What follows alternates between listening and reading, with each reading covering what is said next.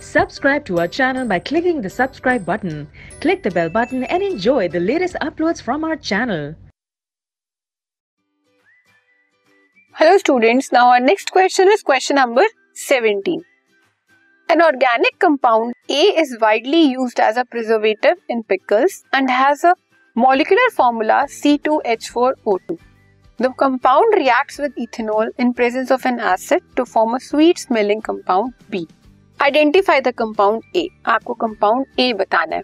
An organic compound A is widely use as preservative and pickles and has molecular formula C two H four O two that is acid जो हम preservation के लिए use करते हैं pickles में, वो क्या होता है? इथेनोइक एसिड या एसिटिक एसिड जिसे हम विनेगर भी बोलते हैं. सिरका बोलते हैं, जिसे हम घर में यूज़ करते हैं. तो उसका फॉर्मूला क्या है? C H three C O H write the chemical equation for its reaction with ethanol to form compound B अब आपको ये बताना है, अगर आपका एसिटिक एसिड इथेनॉल के साथ रिएक्ट करता है तो वो क्या कंपाउंड बनाता है? एसिटिक एसिड है C H three C O H इसने इथेनॉल के साथ रिएक्ट किया तो यहाँ पे क्या बना हमारा? Ester ester is sweet smelling compound plus water how can you get A back from B आप ए को बी से कैसे रिवर्स चेंज कर सकते हो? We can get ethanoic acid from ethyl ethanoate by hydrolysis in either acidic और basic medium अगर जो हमारा एस्टर बना है, उसे हम हाइड्रोलाइज कर दें एसिड मीडियम में या बेसिक मीडियम में तो हमें फिर से एसिड और इथेनॉल रिवर्ट बैक मिल जाएगा। ये किया हमने, ये हमारा इथाइल इथेनोइड बना है, जो हमारा एस्टर है। इसको आपने हाइड्रोलाइज किया। सपोज़ आपने एसिड की प्रेजेंस में किया तो आपको एसिटिक एसिड और इथेनॉल फिर से रिवर्ट बैक मिल गया। Name the process and write the corresponding chemical equation इस प्रोसेस को हम क्या बोलते हैं?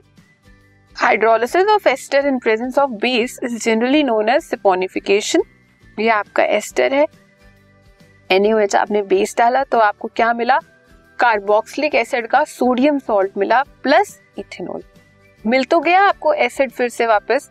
लेकिन वो सॉल्ट की फॉर्म में मिला और इस प्रोसेस को हम क्या बोलते हैं? सिपोनिफिकेशन जितने भी हमारे सॉफ्ट सॉल्यूशंस होते हैं, वो क्या होते हैं? सोडियम सॉल्ट ही है। किसके? कार्बोक्सिलिक एसिड के। अब उनकी चेन्स बहुत लॉन्ग लॉन्ग होती हैं। तो इस प्रोसेस से हम लार्ज स्केल पे सोप की फॉर्मेशन भी करते हैं। Which gas is produced when compound A reacts with washing soda write the chemical equation when compound A compound A हमारा क्या था? इथेनोइक एसिड या acetic acid is treated with washing soda that is sodium carbonate sodium carbonate हमारा क्या है? Base acetic acid हमारा क्या है? एसिड तो जब भी एसिड और बेस की रिएक्शन होती है, वो कैसी रिएक्शन होती है? न्यूट्रलाइजेशन रिएक्शन क्या मिलता है हमें? सॉल्ट मिलता है. ये हमें एसिटिक एसिड का सॉल्ट मिल गया प्लस कार्बन डाइऑक्साइड हमारी लिबरेट हो गई एंड वाटर ब्रिस्क इफिवेसेंसेस मिलेंगी कार्बन डाइऑक्साइड के, जिससे आप उसे डिटेक्ट कर सकते हो कि वो कौन सी गैस है कार्बन डाइऑक्साइड गैस, ठीक है?